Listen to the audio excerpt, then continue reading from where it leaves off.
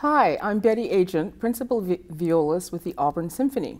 I'm here with you today to talk about Adolphus Hailstork, a retired music professor and composer in residence at Old Dominion University in Virginia.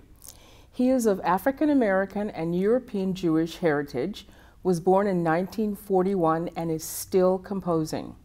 The Auburn Symphony Orchestra will be performing his three spirituals for orchestra on April 30th at the Federal Way Performing Arts and Event Center. Mr. Hailstork grew up in Albany, New York, where he studied violin, piano, and organ, and began composing at an early age. He also sang in the boys' choir at the Episcopalian Cathedral in Albany. The acoustics and style of English compositions of this choral experience contributed in later years to his compositions. But it wasn't until he was studying music at the historically black Howard University that he was first introduced to spirituals. In a recent interview, he said, I didn't grow up in the black church. I have an Anglo Roman background as far as church is concerned. I was, however, exposed to spirituals at Howard University, and I love them. To me, they're the foundation of African American music. I wanted to help keep them alive, and they wound up in many of my orchestra pieces. They're great melodies. Spirituals are a class of Christian music associated with black Americans, combining African cultural heritage with the experience of being enslaved. The slaves were introduced to Christianity and accepted its promise of compensation in the next world. Yes, there was, there was sorrow in these songs, with words of the hardships suffered by the slaves, but the spirituals also sang of the virtues of patience, forgiveness, love, faith, and hope. They were sing songs, work songs, and plantation songs that later influenced the blues and church gospel songs. The, the three spirituals found in the work that we will play in April are Every Time I Feel the Spirit, Kumbaya, and Oh Freedom. Two of these songs, Kumbaya and Oh Freedom, found popularity with the American folk music revival and became associated with the civil rights movement of the 1960s. Joan Baez sang Oh Freedom at the 1963 March on Washington, and there was a recording of Kumbaya being sung by marchers during the Selma to Montgomery March for Voting Rights in 1965. Another of his pieces that is inspired by spiritual is his fanfare on Amazing Grace, which was played at the inauguration of President Joe Biden. Here are the words to the spirituals that you will hear today and sing. The first one is Every Time I Feel the Spirit. Every time I feel the Spirit moving in my heart, I will pray. Every time I feel the Spirit moving in my heart, I will pray. On the mountain my Lord spoke, out of his mouth came fire and smoke. Every time I feel the Spirit moving in my heart, I will pray.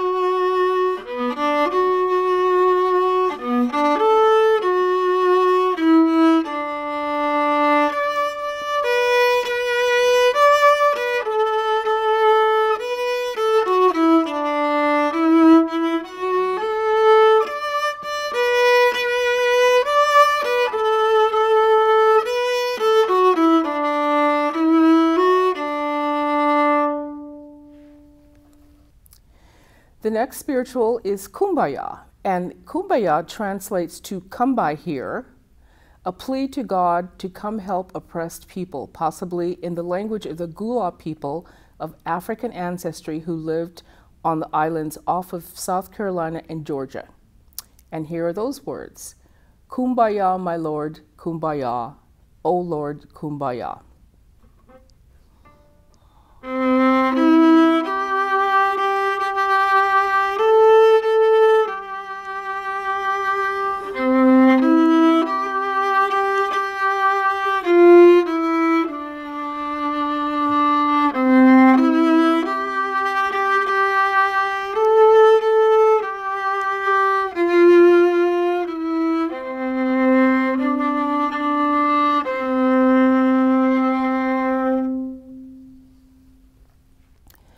O freedom, O freedom, O freedom, O freedom over me. and before I'll be a slave, I'd be buried in my grave, and go home to my Lord and be free.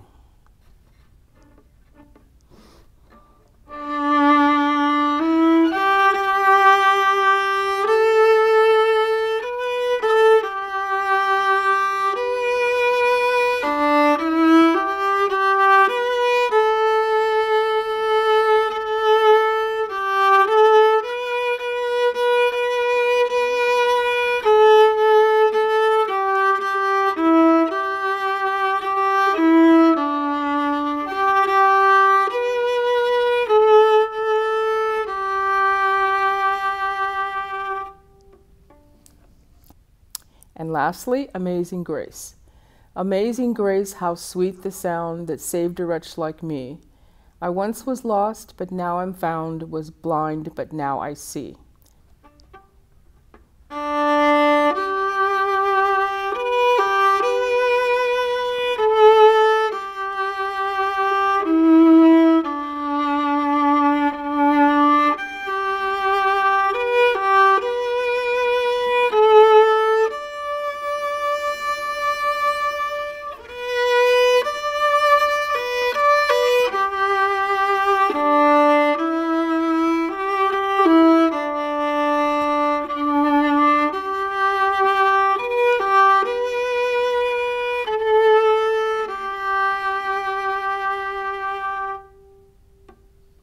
And now I'll hand it over to Monica for the art portion. Thank you. Thank you, Betty, for telling us all about Adolphus Hailstork. Let's make an art project inspired by the art of Alma Thomas. The supplies you'll need are half sheet of paper, sticky labels in multiple colors, a pencil, and a pair of scissors. We'll also show options for making this project with paint, markers, crayons, or colored pencils. We begin with a half sheet of paper. First, use a pencil to trace a circle on your paper with something you have around the house.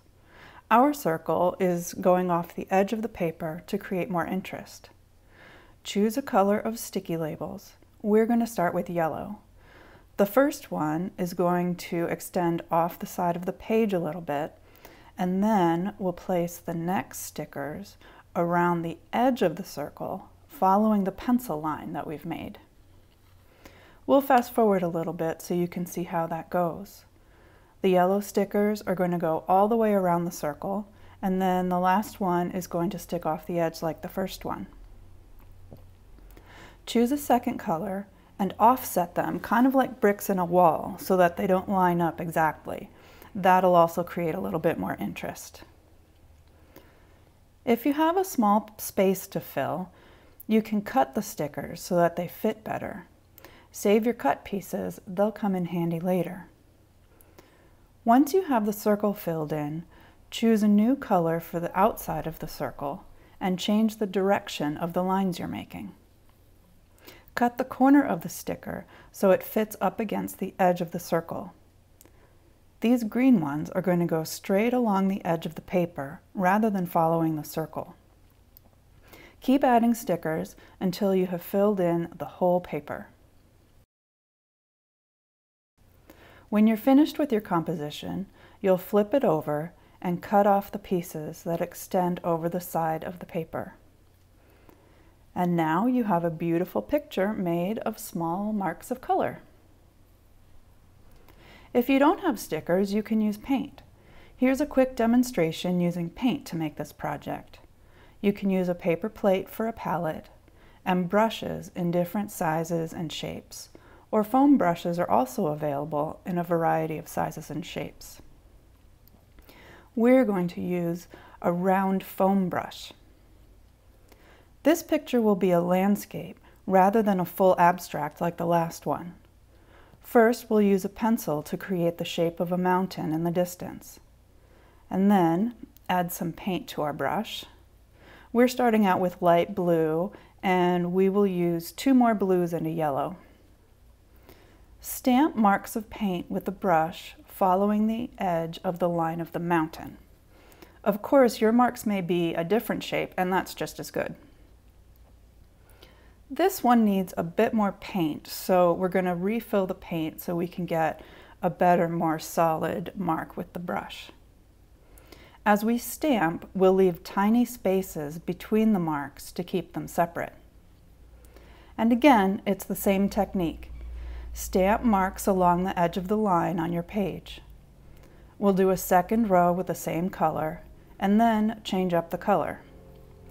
We're not using water to rinse our brushes because that would make the paper too wet.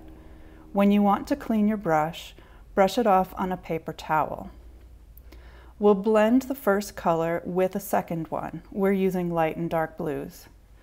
Continue on and make your marks darker as they get to the bottom of the page. If you don't have paint brushes or foam brushes, you can cut up a regular sponge to apply your paint. Now we're going to use a different shape of foam brush for variety and a different color of blue for the sky so it contrasts a little bit with the mountain. Make a row of marks along the top of the mountain. We're making one row of blue. Wipe off the excess paint on a paper towel and flip the brush over. It has less paint on the other side so you can change to a really different color. We're using yellow here. Make yellow marks all along the top of the mountain in rows until you have filled in the whole sky. And again, you can use whichever colors you like.